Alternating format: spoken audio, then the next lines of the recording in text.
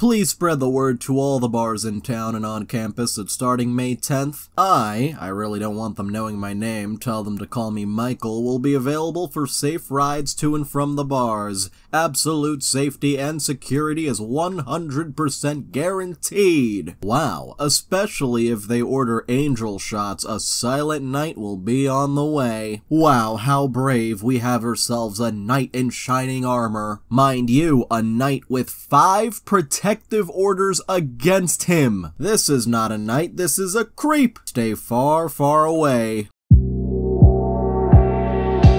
Hello redditors of the internet, Noble Xenon here and welcome to r slash nice guys part 91. Let's get started. So, we have ourselves an individual by the name of Kevin who's 28 miles away and is 21 years old. Ladies, let's be honest here. Y'all are just here farming Instagram followers now. This isn't the way to find love. You're just gonna bang the dude with the super yacht and he'll forget about you. Those dudes ain't gonna wife you up. If you've got any self-respect, just delete this app, trust me, you'll be better off. If you disagree, let's argue about it. Kevin, let's be honest, you're just here looking for arguments now. This isn't the way to find love. You're just gonna call Milady a bitch. If you've got any self-respect, just delete this app, trust me, you'll be better off. If you disagree, well I've already blocked you, so forget about it. For this next one, I'm not a nice guy, you're just acting morally superior. Now I'm gonna go off a limb here and give I my theory on why redditors obsessively like making fun of incels and nice guys more than others. I think the moral superiority helps the redditors that do this feel better than the romantically unsuccessful because they're not that far away from becoming incels themselves. So making fun of incels kind of distances them from incels.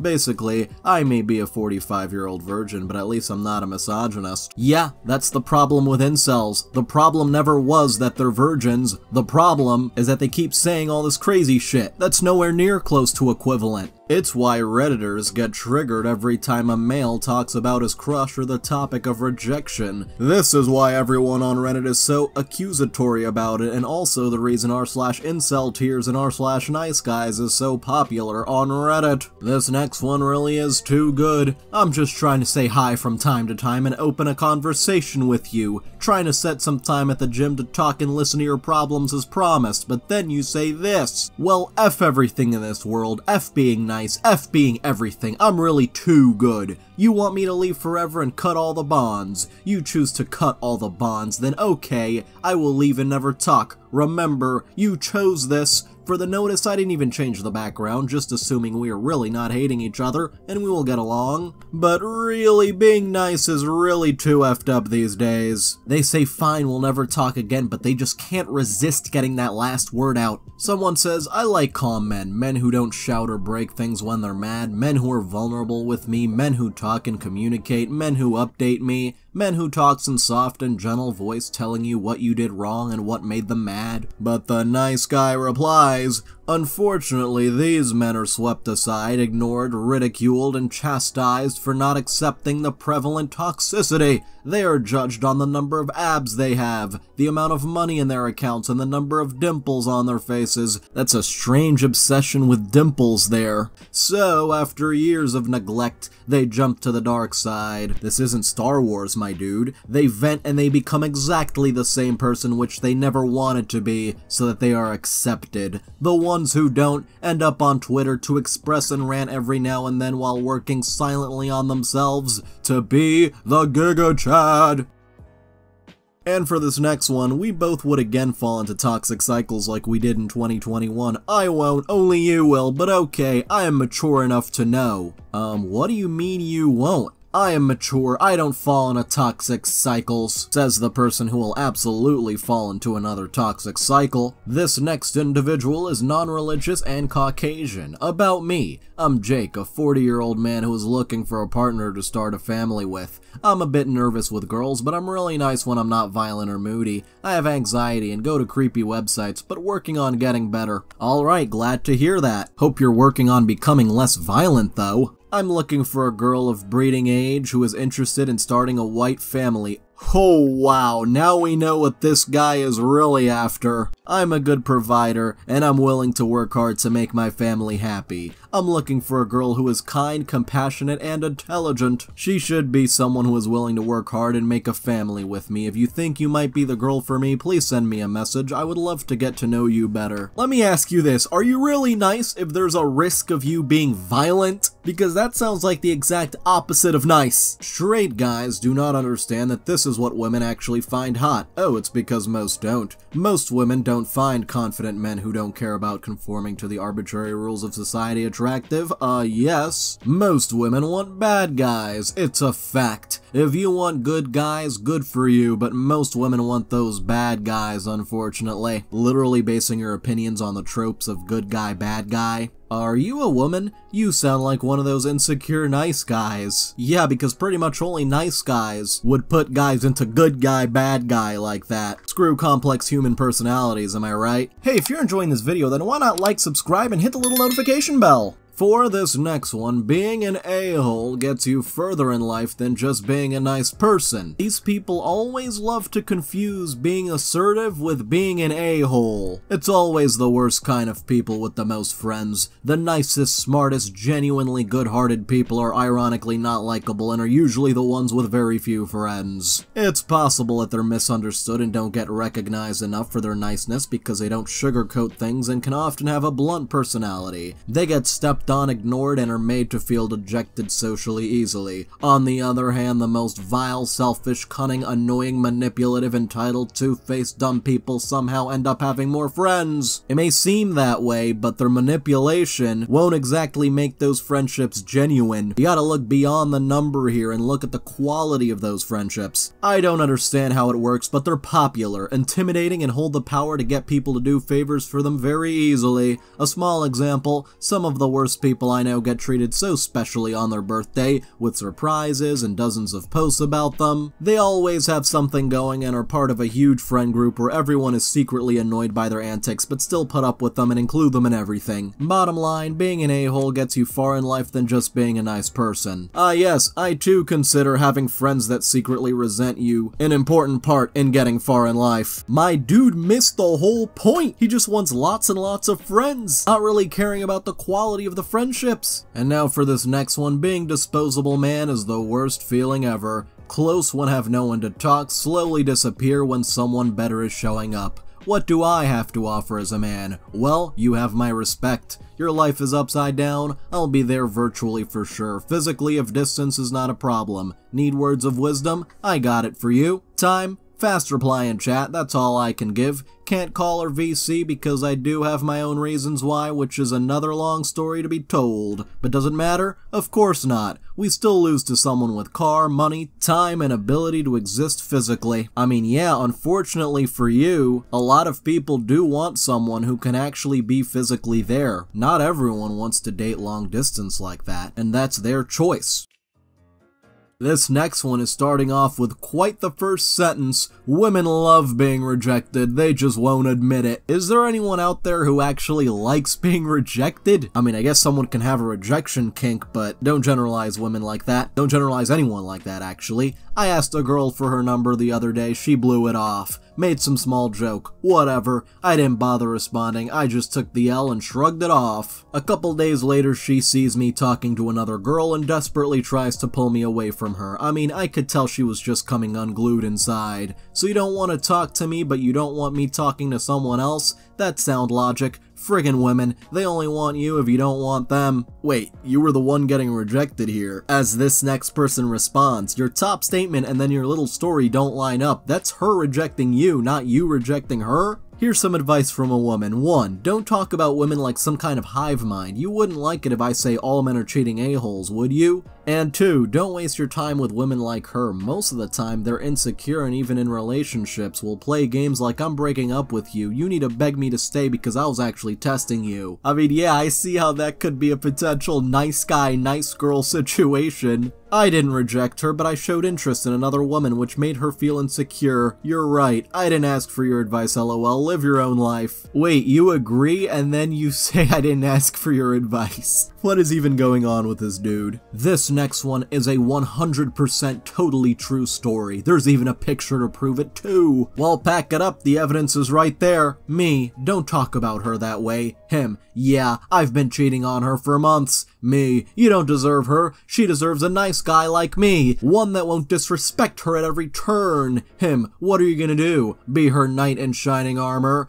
I knelt down and punched the concrete, blood gushing out my knuckles. I showed him my hand and said, This concrete won't break, but your bones will, you piece of crap, Chad. He started crying and ran away, laughing emojis. Suffice to say, I got the girl. Every time I see that Chad, I gave her a big kiss. He just turns his head away and runs off. We get cheered every time we walk down the hallway now. And then everybody clapped. Wow, what a totally 100% true story. I can hear the cheers from here. And for this next one, they tell me someone will want me because I'm such a great guy, but then they dare rejecting me after I ask them out. I'm not even ugly, allegedly. I love how that's an allegation. Women are always telling me how good I look and I'm surprised you don't have women all over you everywhere you go, etc. But then I'll be like, so wanna go on a date with me? And then it's always, yeah, but not me though, everyone else definitely. You'll find someone or they'll laugh it off or something. Literally every time. You'll find someone, you'll find the right one. The hell does this even mean? It has been said to me so many times it has no meaning to me anymore. It's like, hi, how are you, of being lonely. They don't actually mean it. They've just been programmed to say it as a reaction to someone's relationship misfortune. Hell, I think I've accidentally become an incel at this point. How about just actually end me instead?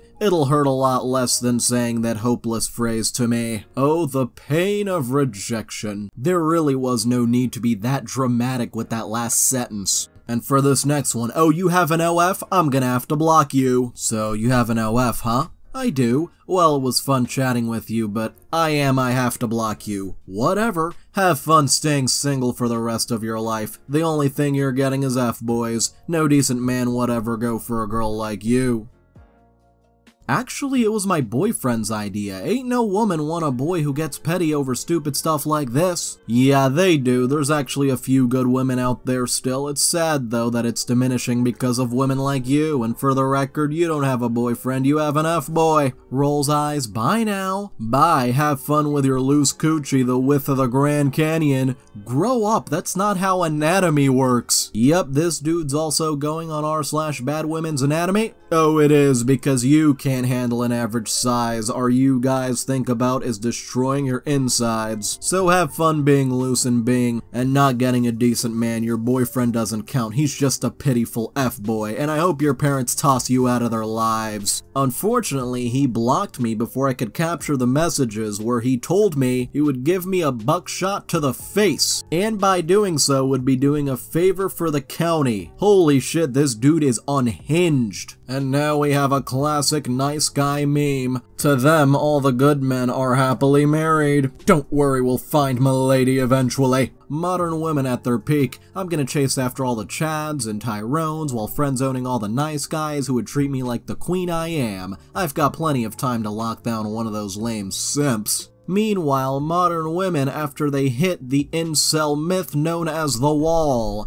I wasted the best years of my life getting passed around by F-boys who treated me like a doll and then discarded me like garbage. Now all the good men who wanted me when I was young and hot are happily married. I'm gonna die alone. And Boofy Butthole says, yeah, I'm really sure all those nice guys are happily married. Hmm. This next one is rare and precious, so watch out. Hi, good morning. Listen, I decided to not go on a date tonight since with a hotel it would be too complicated and I don't want to get under pressure, but let's focus next weekend. Have a good day. Hey, thanks. I mean, why can't we have a normal communication? So you've decided, you decided I should come, you decide I shouldn't come, so you didn't answer when I asked you what you were looking for, so I have no idea. Are you looking to get laid? Are you looking for a husband? Don't know, so no pressure on my side. Who said I had to sleep in your hotel? No one. because we didn't talk. Did I say I wanted you to come? That I wanted to see you next weekend? Maybe I just want to F quick and leave. Maybe I'm married. Maybe I won't find you sexy. Well, that lack of communication and consideration is totally unsexy. So you're just another one of these girls, huh? You're hot, so you know I'll always be available? I don't give an F about your body and I can find tall, skinny blondes. I prefer blondes anytime and anywhere. But interesting, passionate people, it's rare and precious. I am rare and precious, and I'd like to be considered as such. Wow, you're thinking quite highly of yourself there, buddy. You put the pressure on yourself. It's you against you. Woof, feels nice. I don't want to hear about you anymore. You're not ready for something nice and respectful. Maybe I see you in Basel. I'm going anyway. Thank you. Have a nice day. In quotes. Seriously, what are you, 12? A lot of these nice guys feel the need to go into these massive rants for whatever reason. This next one is just too good to be true. I had a great time with tonight. Good morning. Alright, I get you ain't feeling this, or am I overthinking? It was a really super nice evening and I enjoyed myself, I just didn't feel a spark between us. A fine response, but of course the nice guy replies, Alright, I totally get it, I did way too much on a first date, and maybe you ain't used to those kind of treatments and flowers on a first date. Oh, it was very nice and super thoughtful, and I really appreciated it, and I feel bad, but I wanted to be honest. It's all good. Genuine men usually don't get appreciated enough or sometimes seen as too good to be true. Good luck with the dating thing, though. It seems like you're trying to buy love with niceness. And unfortunately, when the chemistry isn't there, it just isn't there. No amount of being nice will change that. We go to Reddit for this next one, so I, 22 year old male, am frankly enraged right now that I found out my crush, 24 year old female, is currently in a relationship right now with another man, 27 year old male. It's just hard to be honest. I feel like she led me on. She'd always try to strike up a conversation with me in class and making me feel like a person instead of a garbage heap. How dare she lead me on? I was gonna ask her out at the end of the semester. I was gonna let you love me but instead you chose someone else, someone who could never care or love you like you deserve. What can I do to win you back? Well, you never asked her out, so there was nothing between you two in the first place. How is having conversations in class leading you on? This next one wants you to support your local nice guy. I'd rather not, thank you very much. This B said I had no lips, you have enough for the two of us, babe. This person doesn't meet all of your preferences. Why do women have such bad taste in men? They unmatch me and stuff but I catch them looking in public. For all we know, it could just be quick glances, and that doesn't mean they're attracted to you. People can just take a quick glance at other people just to be aware of their surroundings. I could easily pick you up at the gas station, but online you swipe on by. Then you match with some D who sends you a D pic in his messy room in his folks' basement,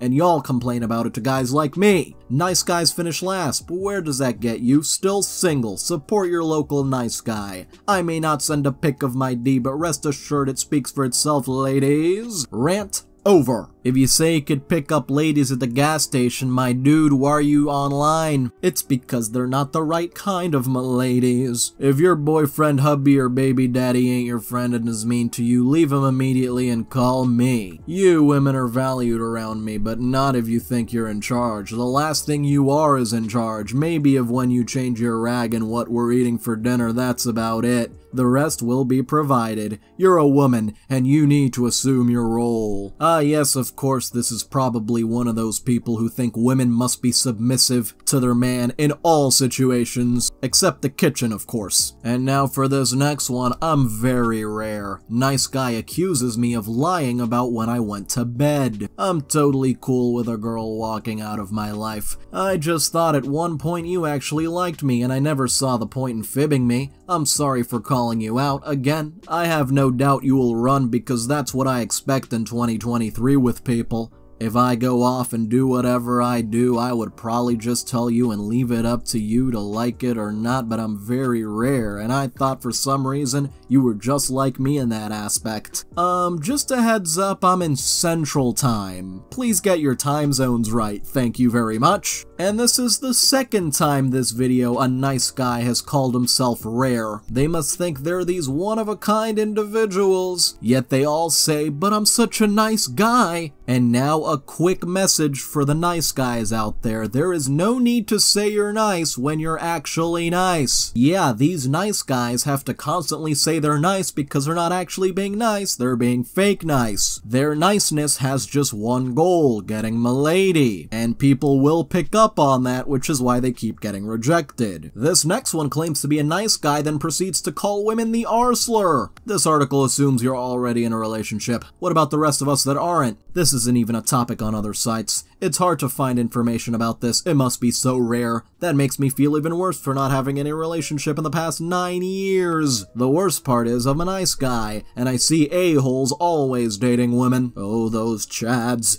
Those same women have been friends of mine when they get their hearts broken and turn to me for guidance. At this point I say, well maybe you should stop dating a-holes when I tell you who and what they are and find a nice guy to date.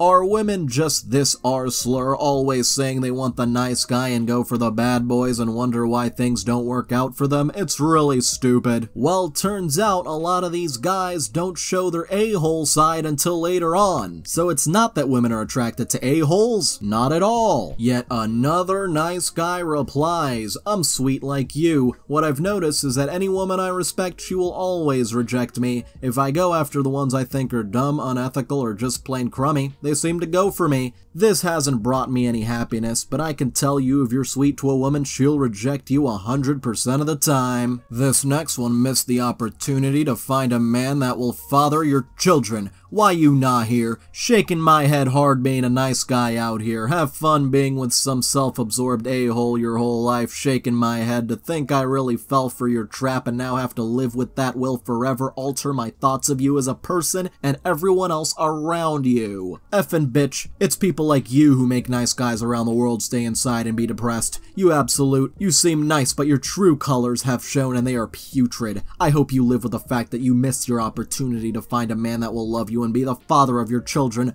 Bye! I'm blocking your number, so don't even try and reach me when you realize the mistake you have made. And why not finish things off on Reddit? So, sexist assumptions about dangerous and dirty jobs prevent them from going in them, yet sexist assumptions about women working at all does not prevent them working. Oh, how convenient. STEM fields have quotas to hire women, so what are you even talking about? When women didn't work, one income was enough to support the family, but women still made most consumer decisions. They got paid alright, and you conveniently left out the houses that women walk away with in divorce along with big money. And sorry, I can't unsee tens of thousands of videos of different women acting super entitled, giving themselves to a-holes who do the bare minimum, talking about how they prefer bad boys, and then turn around, complain about abuse, and then set absurd standards for good honest men. And when cross-referenced with my personal experience over 38 years, the MGTOW red pill content does in fact bear out into reality. It's your feminist ideology that doesn't.